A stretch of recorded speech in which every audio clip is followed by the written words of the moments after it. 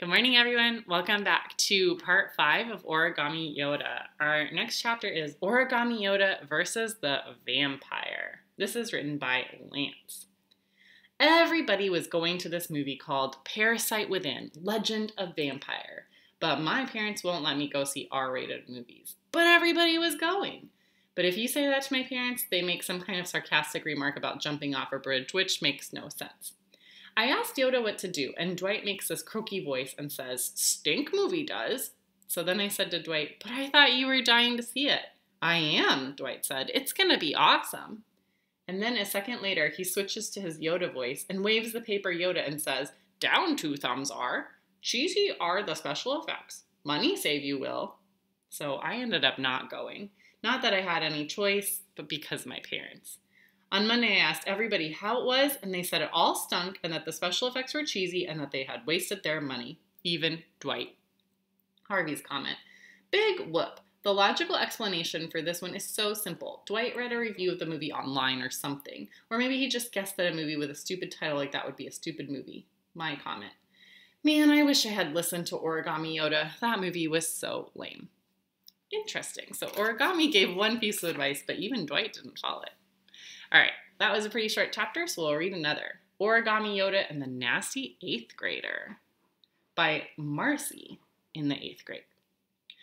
Origami Yoda is the dumbest thing of all time. He's a total fraud. If you think he's anything more than a piece of paper, you're an idiot. I know this because I believed in him and ended up looking like an idiot. It's my own fault for listening to a bunch of sixth graders. One of the kids on my bus is the dipwad who walks around with the Yoda on his finger. One day, all these sixth graders kept saying, Ask Origami Yoda anything. He knows everything. And they told me some stories about how Origami Yoda had predicted some stuff.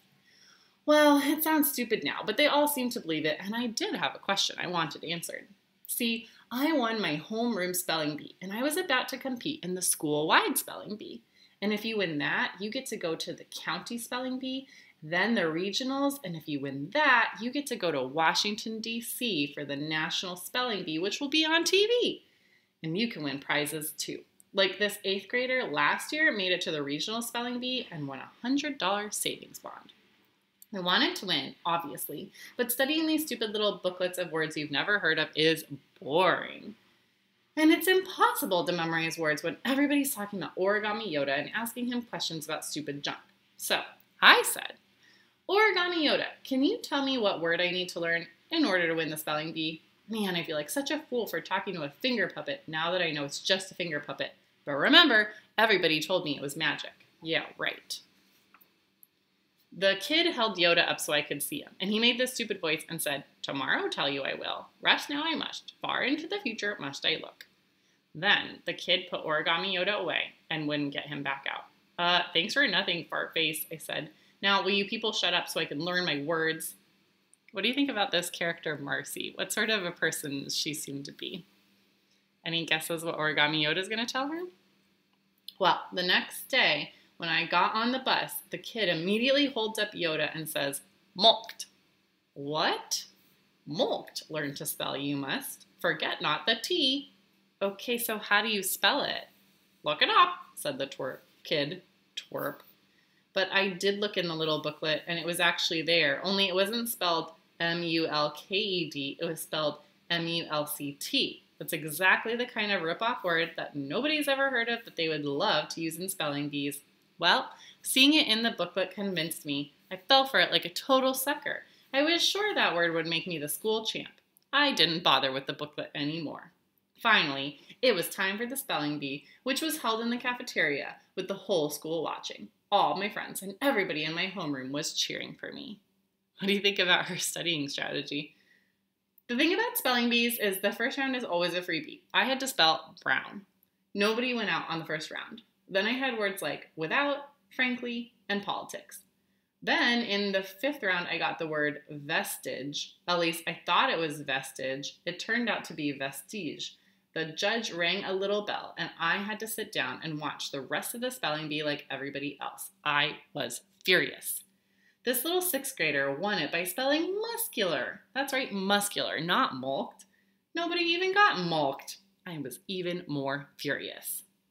After school, on the bus, I told the Yoda kid what an idiot he was, and I told everybody that Origami Yoda was a worthless piece of paper. But like I said, I'm the real idiot for believing in something that stupid anyway. Harvey's comment.